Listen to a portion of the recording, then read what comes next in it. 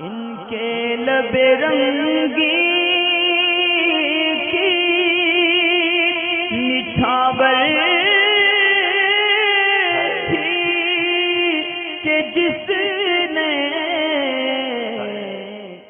आमिर कुरैशियाँ ये कहते हैं कि कोर्ट मैरिज करना, ये भाग के शादी करना ये इस तरह निकाह हो जाएगा, ये नहीं हो जाएगा।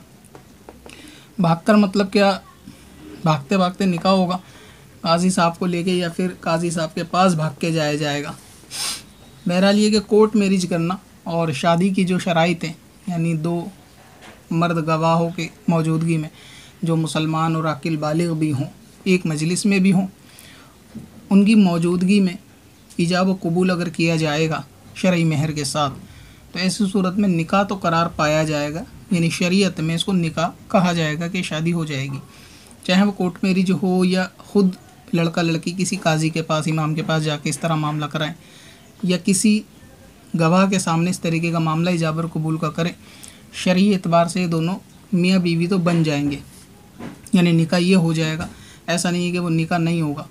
अब रहा ये कि ये काम करना ठीक है या नहीं तो ये उर्फ़ आम में लोग समझते ही हैं कि ये ठीक है यानी यानी साइल भी ये बात समझता ही है कि ये ठीक है या नहीं ठीक है, इसके जवाब की मुझे ज़रूरत नहीं है। एक छोटा वाक्य मैं आपको अर्ज़ करता हूँ, यानी इस मसाइल के ताल्लुक़ से। एक महल की रानी थी और वहाँ पे काम करने वाले ग़ुलाम हुआ करता था। तो रानी को ग़ुलाम के साथ इश्क हो गया और उन दोनों ने फ़ैसला किया कि शादी तो हमारी हो नहीं सकती क्योंकि हम में जो है ना फ़र्क बहुत है। अच्छा ये जो ख़ुद निकाह करने वाला है ना, इसमें कुफू का मसला भी है। सुन्नत से एक मरतबा रबता ज़रूर इस बारे में करें कि इसमें कभी कुफू का मामला होता है तो वली की इजाज़त पे मौकूफ़ होता है फिर निकाह। तो ऐसा नहीं है कि हर सूरत में ही निकाह हो ही जाना है। बहुत से इसमें कुफू के मसाइल अगर हो जाएँ लड़का लड़की तरफ़ से तो उसके अंदर फिर जो है ना, वो लड़की के वालिद की इजाज़त जो है ना ज़रूरी हो जाती है। इस मसाइल में जो है ना, किसी आलिम साहब से रूबरू भी रबता करें। तो फिर इसने, यानी लड़की ने और रानी ने जो शहज़ादी थी महल की और ग़ुलाम के साथ भागने का फ़ैसला किया कि चलो हम आज रात को ऊँट पकड़ेंगे एक एक उस पर बैठ के हम जो है अपनी सरहद से पार निकल जाएँगे। और बाहर जाकर जो है मन निका कर लेंगे, क्योंकि यहाँ हमारी शादी नहीं हो सकती। दोनों के मामला तय करार पाए वक्त तय हो गया, दोनों ने एक एक ऊँट पकड़ा और बैठे और चल दिए। ऊँट कुछ दूर तक चला। अभी महल की सरहद से निकलने ही वाला था कि बीच में एक पानी का छोटा तालाब था। क्रॉस उसको करना था ऊँटों को। तो वो दोनों ऊँट चलते गए चलते गए चलते गए। लड़के का ऊँट पानी में जाकर वो बैठ गया। यानी वो आगे नहीं बढ़ा। वो बाकायदा बैठ ही गया पानी देख के। उसने बहुत उठाने की कोशिश की, लेकिन वो नहीं उठा।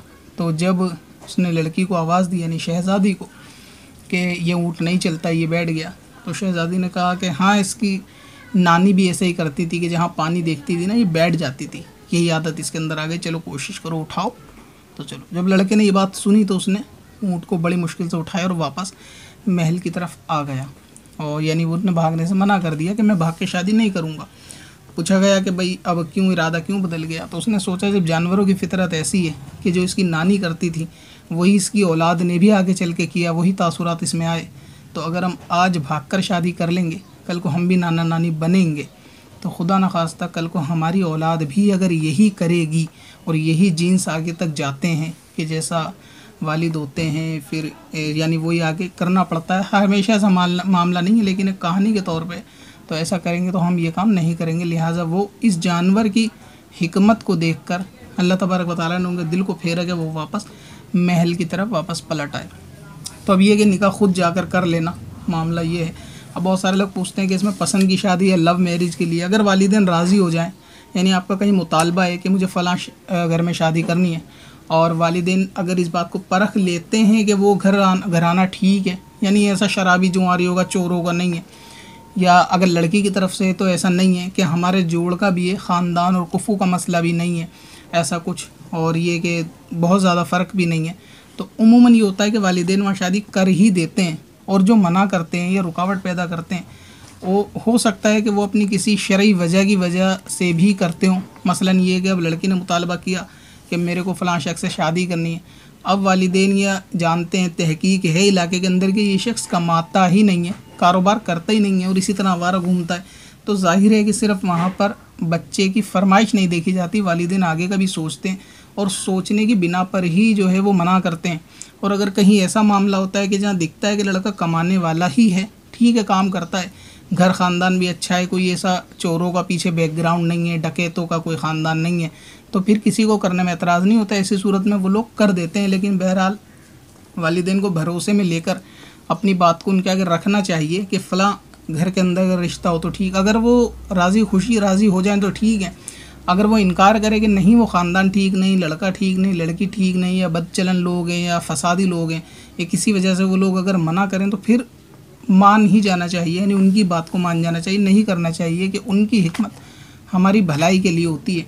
और अगर ठीक होता है मामला, ख़ानदान बुराई नहीं होती तो अक्सर वालदेन मना नहीं करते। लेकिन बाज़ के फिर भी मना करते हैं। अब उनकी ज़ाती मामला रहता है कि वो आखिर ऐसा क्यों करते हैं? यानी अपनी अना में करते हैं या अपनी शान व शौकत की वजह से करते हैं, वो एक दूसरी बात है। लेकिन बहरहाल भरोसे में लेके काम कर लिया जाए, ठीक है।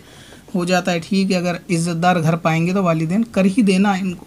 अगर उनको लगेगा कि हाँ ठीक है, हमें भी करनी है और वो लड़का या लड़की भी ठीक है, कोई ऐसा बदगिरदारी वाली बात भी नहीं है तो कर देंगे, नहीं करें तो ठीक है, बहरहाल ये कि अगर निकाह किया जाएगा और निकाह की शराइ पाई जाएँगी, चाहे ये लोग ख़ुद निकाह कर लें, ठीक है, निकाह हो जाएगा, लेकिन ये अमल के लिए मैंने हिकायत बयान कर दिया आप उससे अंदाज़ा लगा लें कि ऐसा करना चाहिए या नहीं करना चाहिए। क्योंकि फिर ये समाज में एक दाग हमेशा के लिए लग जाता है कि भाग कर शादी की है फ़लाँ ने और ये आगे तक चलता है। फिर ये खुदा न खास्ता कि आगे नस्लों में भी कन्वर्ट हो। हालाँकि ऐसा ज़रूरी नहीं कि जो वालिद ने किया हो, वो औलाद करे। या जो औलाद ने किया हो, वो उसकी आगे की औलाद करे, ऐसा लाजिम नहीं है। लेकिन ये कि ऐसा उमूमन हो ही जाता है कि दुनिया आमाल की खेती है।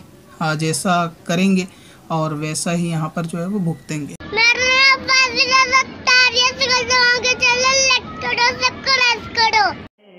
पत्थर में असल पुरनवा